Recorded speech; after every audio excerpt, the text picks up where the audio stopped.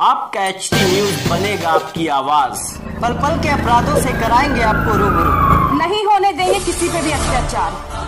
हम हैं आपके साथ और देखते रहिए हंगामा टाइम्स न्यूज़। ननकाना साहिब गुरुद्वारे का मामला भी शांत भी नहीं हुआ था कि पाकिस्तान में सिख युवक की हत्या का मामला सामने आया जिससे एक बार फिर से हिंसा जाग उठी।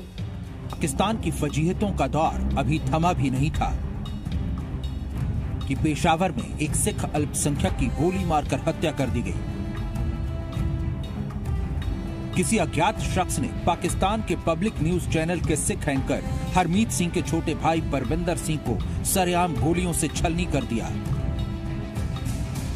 अपने जवान भाई की डेड बॉडी के पास बेबसी के आँसू बहा रहे सिख पत्रकार हरमीत सिंह अब पाकिस्तान की हुकूमत से सवाल पूछ रहे हैं कि कहाँ गए पाकिस्तानी हुकूमत के वे दावे जिसमें वो कहती है कि पाकिस्तान में अकलियत बेहद महफूज है। हरमीत सिंह पाकिस्तान के वज़ीर आज़म इमरान खान से कह रहे हैं कि आँखें खोलो इमरान और तस्वुर की दुनिया से बाहर निकलकर पाकिस्तान की हकीकत से वाबस्ता होने की हिम्मत दिखाओ। हज़ारों लाखों की जो फंडिंग आती है, करोड़ों के हमारे लिए सेफ्टी के लिए आती है। गवर्नमेंट ऑफ़ पाकिस्तान को इसलिए ये फंडिंग आती है कि इन अकलियतों का तहफ़ किया जाए, चाहे वो सिख है क्रिश्चियन है हिंदू है। लेकिन तहफ़ ये होता है कि मुझे अपने भाई की बॉडी उठानी पड़ रही है। ये बेबसी है पाकिस्तान में रहने वाले हर धर्म के अकलियतों की। हत्यारे बेखौफ हैं छोटी छोटी बातों पर अल्पसंख्यकों को गोलियों से भून देते हैं, बेरहमी से कत्ल कर देते हैं। और पाकिस्तान के वज़ीर आज़म इमरान खान अपने मुल्क की इस खौफनाक हकीकत पर बड़ी ही बेशर्मी से पर्दा डालकर दुनिया के सामने इंसानियत और मानवीय संवेदना का तराना पूरी तरन्नुम के साथ अलापते हैं। जिस सिख युवक की हत्या हुई है, उसका भाई पाकिस्तानी न्यूज़ चैनल का एंकर है। बेगुनाह भाई की हत्या से भीतर तक दहला हुआ लेकिन उसे पता है कि इंसाफ की उम्मीद बेमानी है। लिहाजा वो पाकिस्तान के अल्पसंख्यकों से गुजारिश करता है कि उठो और इस जुल्म के खिलाफ आवाज़ उठाओ, क्योंकि एक एक कर सबकी बारी आने वाली है।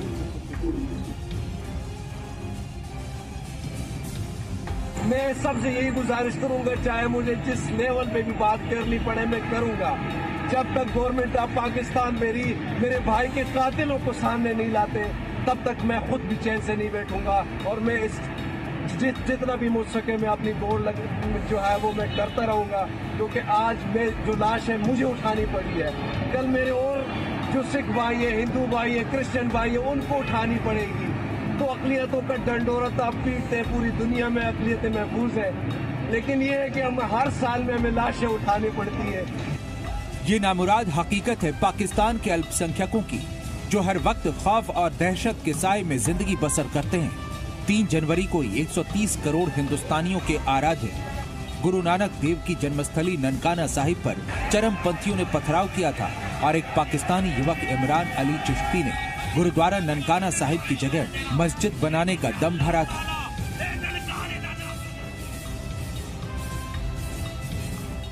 ननकाने का नाम बदल गया थी गुलामा ने मुस्तफ़ा शहर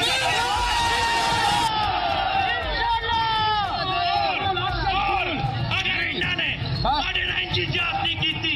रब्बे काबा कसम। इस गुरुद्वारे की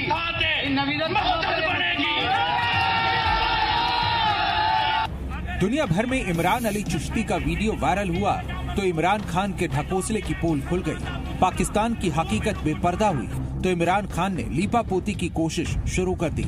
इमरान ने ट्वीट कर भारत से पाकिस्तान की तुलना करते हुए हास्यास्पद रूप से खुद को इंसानियत का मसीहा बताने का फरेब किया। इमरान ने ट्वीट किया कि ननकाना साहिब के निंदनीय घटना और भारत में मुस्लिमों और दूसरे अल्पसंख्यकों पर जारी हमलों के बीच बड़ा अंतर ये है कि वो हमारी भाईचारे वाली सोच के खिलाफ हैं, जबकि हम ज़ीरो टॉलरेंस रखते हैं और पुलिस और न्यायपालिका के साथ मिलकर पूरी सरकारी सुरक्षा देते हैं। हँसी आती है कि इमरान खान अकलियतों के अधिकार का हवाला देते हुए भारत से न सिर्फ़ पाकिस्तान की तुलना कर रहे हैं बल्कि खुद को बेहतर भी बता रहे हैं। वो भी तब जब उन्हीं की सरजमी पर एक युवक सरेआम सिखों के पवित्र गुरुद्वारे की जगह मस्जिद बनाने का गलीज ऐलान सरेआम करता है। और इमरान को लगता है कि पोल पट्टी खुल रही है तो उसी गुंडे से माफीनामा भी दिलवा देते हैं। सुनिए, तीन जनवरी को गुरुद्वारे पर पत्थरबाजी के लिए भड़काने वाला और गुरुद्वारा साहिब को गुलाम मुस्तफ़ा बनवाने का दम भरने वाला इमरान चिश्ती अब क्या कह रहा है? मैं इमरान अली चिश्ती ननकाना साहब से दोस्तों, जैसे आपने कल का वाक्य देखा, मैं जज्बात में काफ़ी सारी बातें कर गया जिसमें सिखों के बारे में की और गुरुद्वारे के बारे में की। कतन हमारा इरादा ना था, ना किया है। कि हम गुरुद्वारे का घेराव करेंगे, पत्थरबाजी करेंगे। ना हमने किया है, ना करेंगे इन ताला।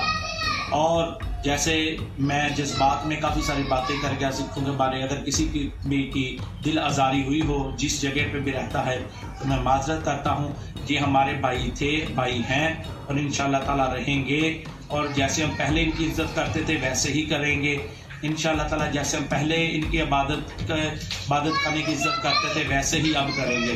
अगर किसी को मेरे इस जज्बात में जो मैंने बयान दिया था, अगर किसी की दिल आज़ारी हुई हो तो मैं माजरत करता हूँ।